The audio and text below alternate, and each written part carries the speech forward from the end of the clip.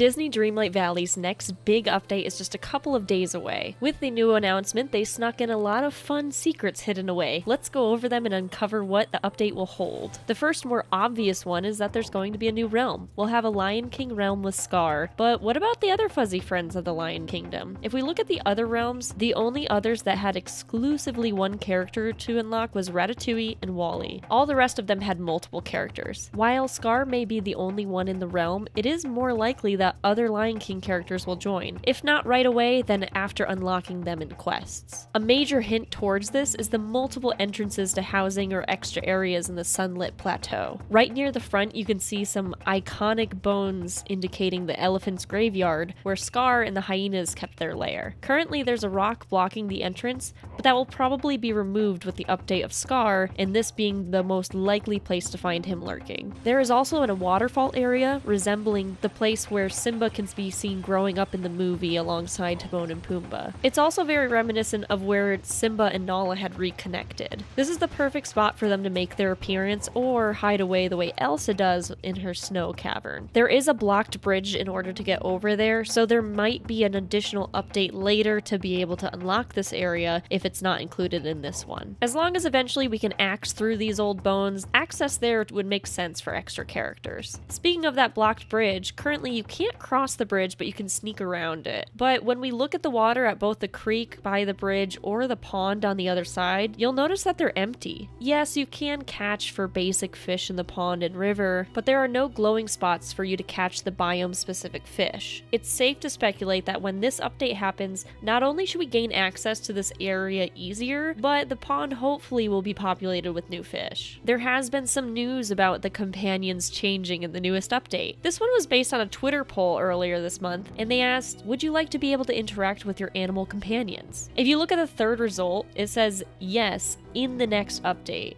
Why would they include that if not to say our companions will definitely be interactable? That being said, we don't know what they mean by interactable. My guess is that you'll be able to pet your pet, and it would probably give the same animation as when you feed it something it likes. If we're lucky, the idea would be that it would help by picking things up like our pumpkins when we decide to go farming. Whether you can pet it, feed it, or play with them, it's still pretty exciting to see these pets do a little more than just chase you around and look cute. There's also been a sneaky drop in the Discord server news, and it can be applicable to the game, and it looks like things are getting a bit festive. In the game newsroom, the community manager Ryan posted this treat. Oh, hey there, game news. How would you like a midweek teaser of something in the next update? Take a little look at the server emotes. And when we peek over, we can see some jack o' lanterns and Mickey pumpkin decor that'll probably be making its way to the update. I'm curious if these will be craftable items with the pumpkins we've all been growing, or a purchasable item through Scrooge's shop, but either way, it's pretty festive. The last thing I want to touch base on is the upcoming Star Path. We don't know what types of items will be it or what the theme is, but hopefully they feature some Lion King items in some way. Based on the Pixar Path being more broad and including multiple movies, perhaps Disney Dreamlight emphasizing things being villainous will include lots of villain themed items, which I am totally all about. What are you looking forward to in the next update? Are you team villains or team heroes? Let me know in the